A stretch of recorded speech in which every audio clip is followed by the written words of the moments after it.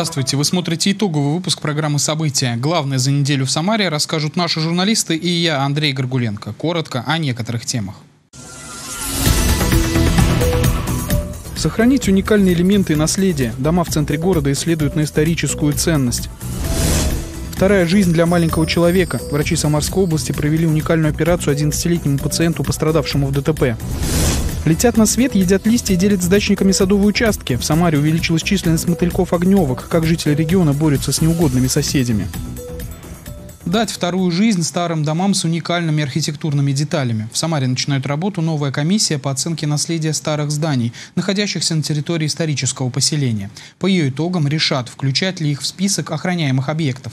Губернатор Дмитрий Азаров поручил ускорить эту работу, поскольку некоторые из этих домов признаны аварийными и подлежат сносу. Один из таких на Садовой 228 удалось сохранить благодаря вмешательству главы города Елены Лапушкиной. Подробнее в сюжете нашей съемочной группы. Уникальная деревянная резьба – вот чем привлекает любителей старой самарской архитектуры дом на Садовой 228. Поэтому общественники его и рекомендуют к включению в предмет охраны исторического поселения города, а также считают ценным градоформирующим объектом. Из-за того, что окончательный список домов, которые будут охранять внутри исторического поселения, еще не сформирован, дом могли снести, поскольку его признали аварийным. Тогда глава города Елена Лапушкина инициировала совещание. На нем удалось принять решение, которое позволило отменить снос. С мертвой точки история сдвинулась. Я искренне рада, что мы теперь понимаем, куда мы движемся. И что нам удалось отстоять замечательный красивый дом Садовый 228. Отменить судебные решения о сносе получится благодаря предостережению, которое подготовит специалисты управления охраны объектов культурного наследия после обращения главы города. Это создаст прецеденты для сохранения других десяти домов, которые уже признаны аварийными, но представляют историческую ценность. Совещание было конструктивно и э, позволило действительно э, выработать э, общую согласованную позицию как с органами исполнительной власти, так и с городозащитниками, что позволит в дальнейшем грамотно относиться к градостроительной ситуации в историческом поселении. Всего домов, которые находятся в пограничной ситуации, около 37. По каждому из них будет проведено дополнительное обследование. Их осмотрит специальная рабочая группа, в которую войдут представители городской администрации, Департамент управления имуществом, прокуратуры, Управление охраны объектов культурного наследия и общественники. Специалисты, изучив все документы, на месте примут решение о сохранении того или иного дома. Обязательно нужно сохранить то, что мы ценим в нашем городе. Вот эти маленькие деревянные дома, которые важны сами по себе. И пусть в них не будут будут жить люди. Пусть в них будут располагаться какие-то другие учреждения, но они точно нужны нашему городу. В ситуацию вмешался губернатор Дмитрий Азаров. Он подчеркнул, что все профильные ведомства обязаны вернуться к детальному анализу материалов и не принимать поспешных решений. Общественники предлагают комплексный подход к восстановлению старых домов в историческом центре Самары. Виктория Шаре, Андрей Горгуленко, Николай Епифанов, Константин Головин. События. Глава Самары Лена Лапушкина проинспектировала строительство городских школ и детских садов. Осмотр начался с новой школы на Пятой Просеке. Здесь возводят второй корпус. Также под контролем городских властей строительство двух детских садов в Октябрьском и Кировском районах. Подробности в репортаже наших корреспондентов. Уже в следующем году в Самаре появится 850 новых учебных мест. Это станет возможным благодаря запуску второй очереди школы на Пятой Просеке. Проектом предусмотрен детский сад на 75 мест. Ход работ во время выездного совещания проверили глава города Елена Лапушкина, председатель регионального правительства Виктор Кудряшов, а также руководители профильных министерств и департаментов. Закреплен специалист департамента градостроительства, который несет персональную ответственность который практически в ежедневном режиме находится на этой стройке и своевременно докладывает о тех сложностях, которые возникают на том или ином объекте. На эту стройку я сама стараюсь приезжать практически еженедельно, встречаюсь с подрядчиком, смотрю объемы выполненных работ. Сейчас готовность объекта составляет выше 60%. Уже приступили к внутренней отделке. Объект э, уникальный в том плане, что это один из объектов, который мы заключили Э, в рамках контракта под ключ. Этот контракт предполагает и проектирование, и строительство объекта одновременно. Это э, очень важно, потому что зачастую э, подрядчики, которые брались за стройку, они э, находили многочисленные ошибки в проектах. Это требовало значительного времени на их переделку. Э, сегодня подрядчик взял полностью этот объект и э, начиная с изысканий, проектирования, и вот сейчас он э, до конца года завершит строительство. Под контролем властей и строительство детских садов. У нас э, строятся два детских садика на улице Подшипникова и на улице Ташкентская. Сейчас материалы в полном объеме есть. Открытие только этих двух детских садов даст городу порядка 250 мест, включая ясельные. Все строительные работы ведутся в соответствии с графиком. Ольга Павлова, Ольга Хамракулова, Константин Головин, Василий Колдашов. События. Эпидситуация в регионе, по оценкам специалистов Управления Роспотребнадзора, остается напряженной. Об этом говорили на заседании областного оперативного штаба по предупреждению завоза и распространения новой коронавирусной инфекции. Какие решения были приняты, расскажем в следующем сюжете. За прошедшую неделю показатели заболеваемости в Самарской области превысили среднероссийские. Рост произошел в двух возрастных категориях – от 7 до 14 лет и среди тех, кто старше 65. Много заболевших среди работников торговли, транспорта, сферы ЖКХ. По словам министра здравоохранения Самарской области Армена Беняна, симптомных форм коронавируса становится больше, растет число амбулаторных пациентов. Особенность инфекции – очень короткий инкубационный период. В госпиталях сейчас 2318 пациентов с подтвержденным коронавирусом и 1125 с подозрением на него. 54% заболевших нуждаются в кислородной поддержке. За неделю суточный расход кислорода вырос на 3 тонны. Для снижения нагрузки на скорую медицинскую помощь в Тольятти планируют привлекать машины частных медицинских структур. Свободный коечный фонд сейчас 9,5%. С 20 августа 100 коек инфекционного профиля введут в оборот в Бесенчукской ЦРБ. Уберечь людей от тяжелого течения болезни помогает вакцинация. На оперативном штабе было принято решение возобновить информационную кампанию, разместить призывы к вакцинации на сайте областного правительства и Роспотребнадзора. После вашего решения э, у нас э, значительный всплеск, даже на какой-то период, там, условно говоря, даже ажиотаж был да, среди вот, работников этих сфер. Люди очень э, внимательно к этому отнеслись. Вот, и многие действительно выполнили то, что э, требует главный санитарный врач, но кто-то остался, как всегда, у нас в засаде. Привиты почти 90% соцработников, больше 80% медиков. Для выработки общественного иммунитета необходимо привить еще порядка 600 тысяч жителей области. В понедельник в регион поступило почти 37 тысяч комплектов вакцины «Спутник Ви» и 18 тысяч «Спутник Лайт». Областной Минздрав ведет мониторинг остатков вакцины в медицинских учреждениях. Хочу напомнить, что у нас продолжается работа по подготовке к введению паспорта коллективного иммунитета. Мы ее не останавливали, но кнопку нажмем мы вот буквально на заседании штаба, на одном из. Поэтому э, сейчас и Минздрав, и Департамент информационных технологий тему отрабатывает. Видимо, будет отдельное решение, когда мы это запустим.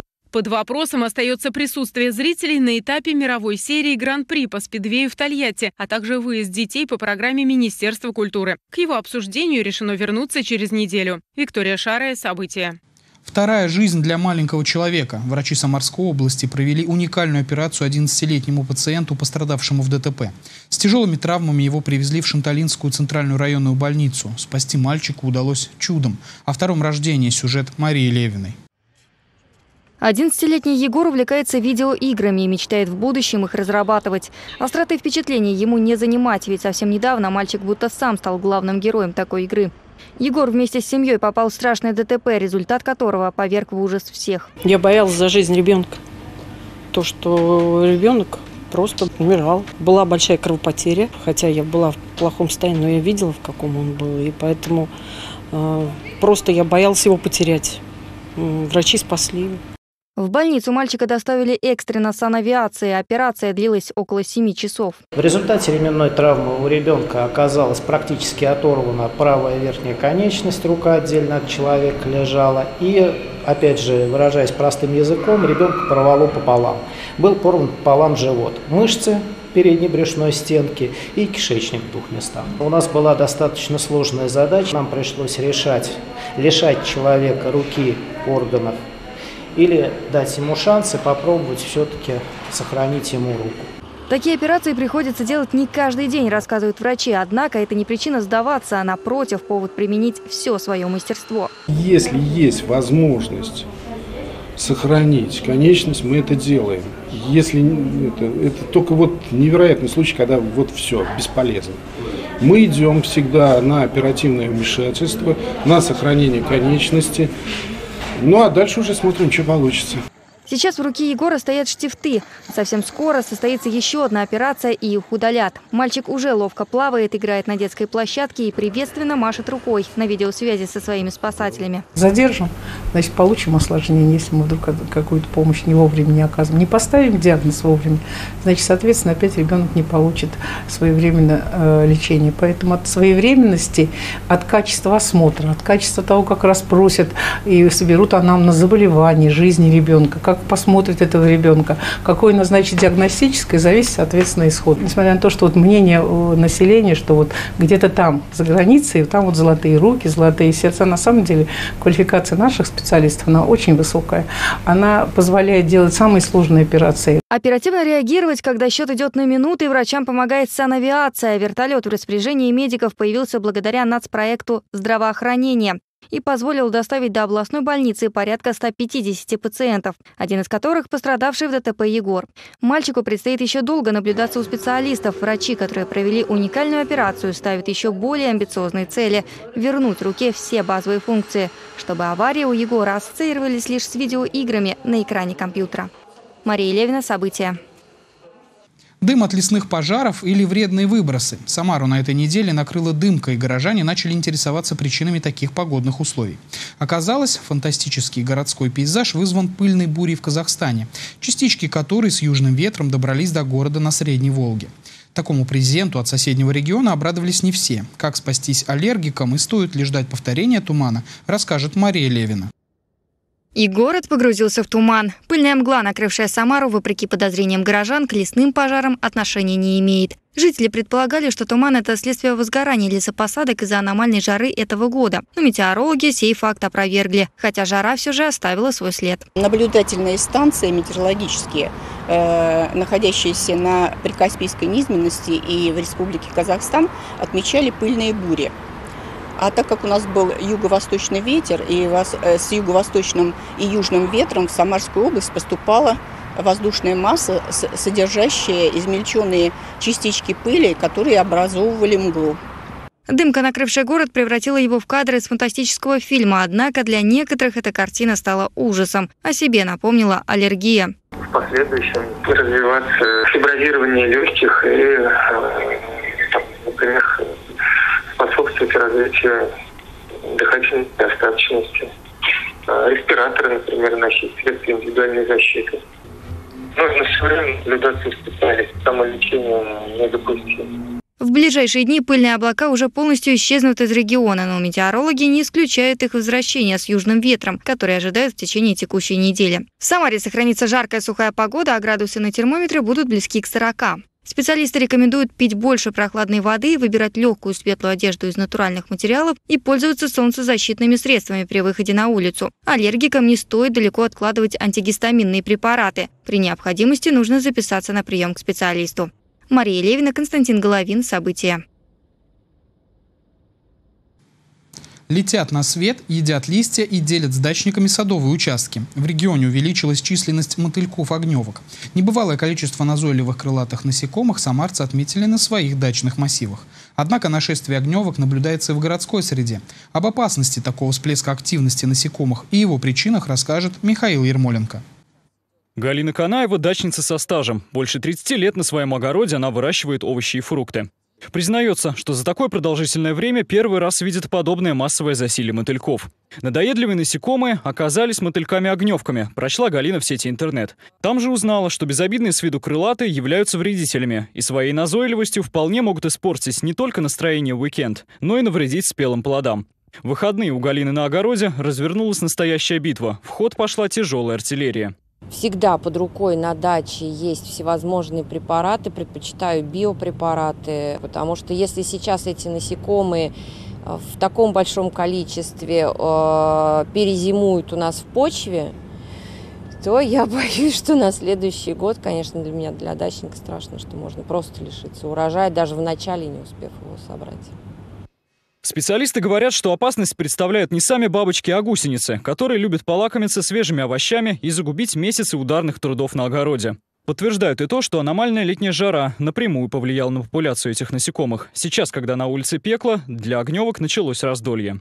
Раз в 10 лет у данного вида мотылька происходит массовая вспышка численности, и идеальными условиями для их размножения как раз это температура свыше 20 градусов и высокая влажность. Специалисты утверждают, что хоть этот вид насекомых не настолько опасен, как, к примеру, саранча, но все равно бороться с ним нужно. И для устранения незваных гостей существует два метода. Первый – это можно использовать ручной сбор, либо использовать биопрепараты и мощные инсектициды. Главное, чтобы опрыскивание происходило не точечно, а массово. Для полного избавления лучше захватить свой участок и близлежащие участки, то есть работать по договоренности с соседями.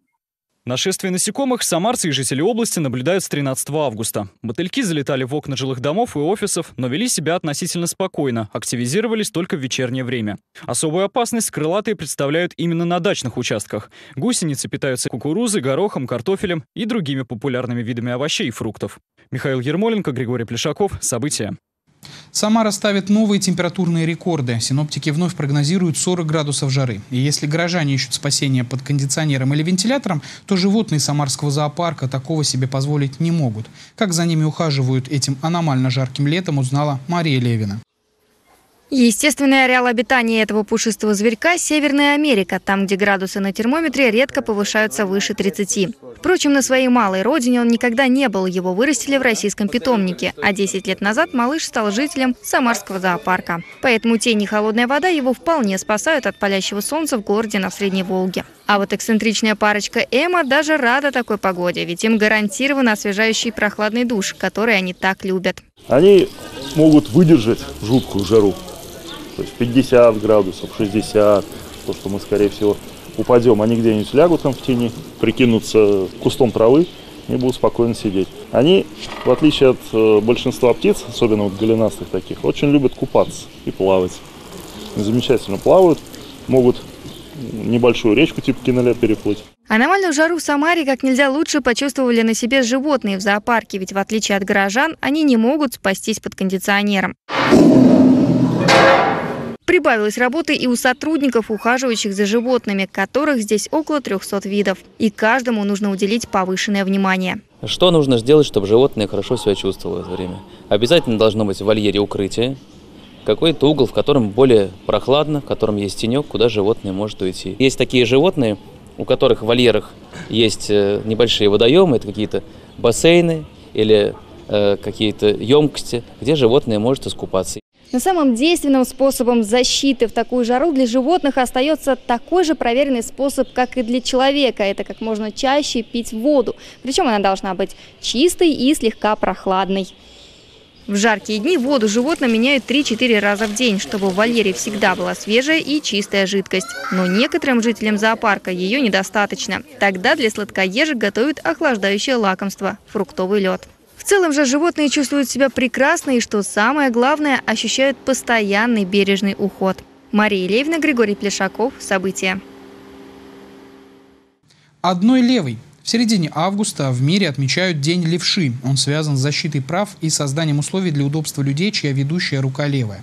Сегодня леворукие чувствуют себя комфортно. Но так было не всегда. Как адаптируются к жизни левши, узнала Мария Левина. Психологи утверждают, эти личности имеют сильный волевой характер и незаурядный творческий потенциал. По большей части у них задействована правая полушария мозга. Этим и объясняется креативность и желание создавать. Олег Поломеев уже четверть века монтирует видео. Впрочем, пришел в профессию скорее случайно, рассказывает Олег. А вот в детстве быть левшой было удобно. Помогало.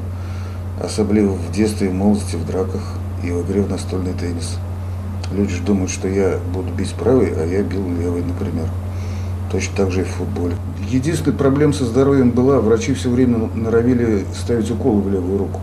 А когда я говорил, что она у меня рабочая, они э, переходили на правую.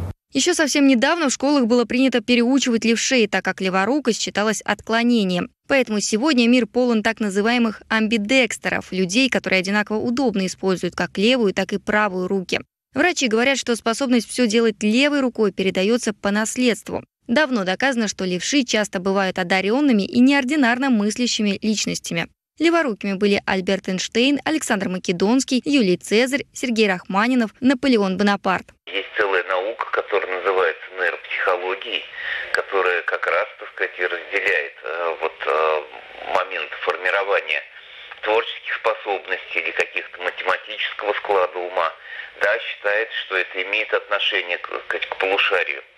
Да, соответственно, доминирующим, так сказать, левым полушарием, соответственно, правши, да, они действительно будут более, так сказать, математического склада ума. Но, опять же, это достаточно относительный процесс. Традиционно в День левши в России всем правшам предлагают почувствовать себя леворукими, нарезать хлеб одной левой, напечатать послание на клавиатуре и расчесать волосы. Так сказать, посмотреть на жизнь под другим углом и понять, что это не всегда просто.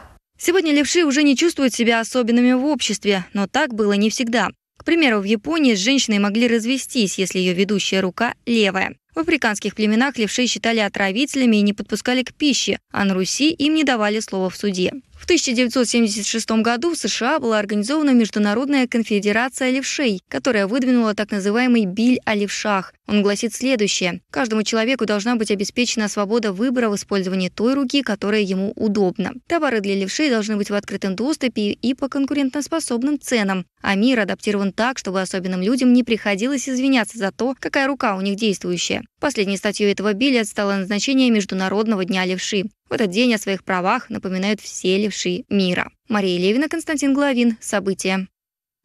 Весь мир 19 августа отметил Международный день фотографии. Ровно 182 года назад во Франции была представлена технология получения изображения на светочувствительной металлической пластине. Прототипе современных снимков.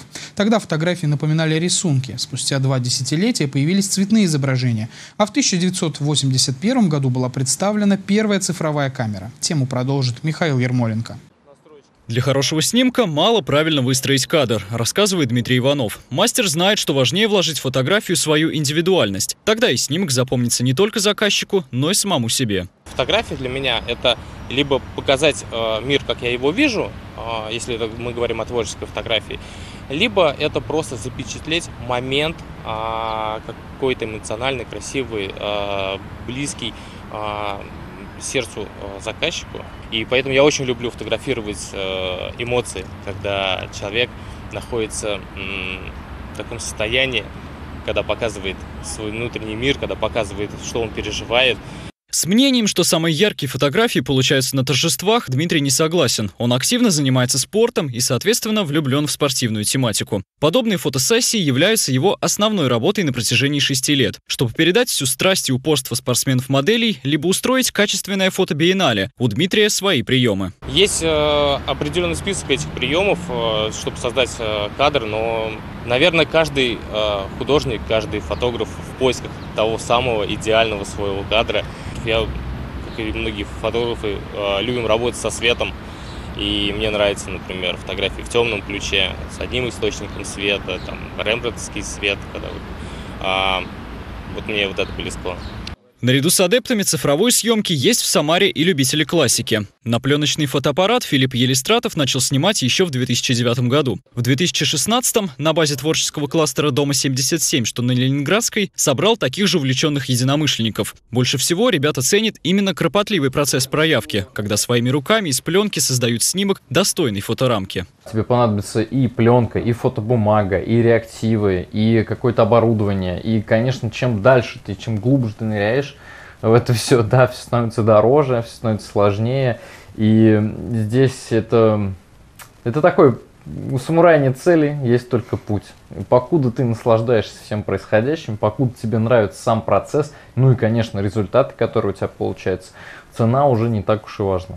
По сравнению с цифровой съемкой, ее аналоговый вариант менее затратен, рассказывает мастер. Поначалу достаточно будет от 3 до 5 тысяч рублей на первую камеру и 30 метров пленки. Если делать все вдумчиво и понимая, что ты делаешь, и, я не знаю, последовать э, некоторым советам, то порог хождения минимален. А у многих какая-то камера уже лежит где-то на антресоле, осталась от бати, дедушки, бабушки и так далее. Если фотоаппарат технически исправен, это достаточно будет для съемки. Всемирный день фотографии – праздник не только профессионалов, но и тех, кто любит фотографироваться. Ведь особо ценными для нас снимки становятся спустя годы. Михаил Ермоленко, Василий Колдашов. События. На этом все. Увидимся.